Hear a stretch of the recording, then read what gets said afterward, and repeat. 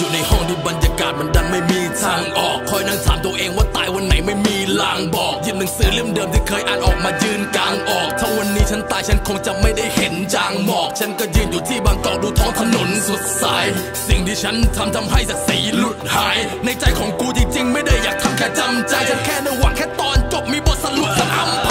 แค่นายสั่งให้ทำมึงไม่ต้องเถียงมึงต้องทำแค่คนไม่กี่คนไม่ใช่หน้าที่ที่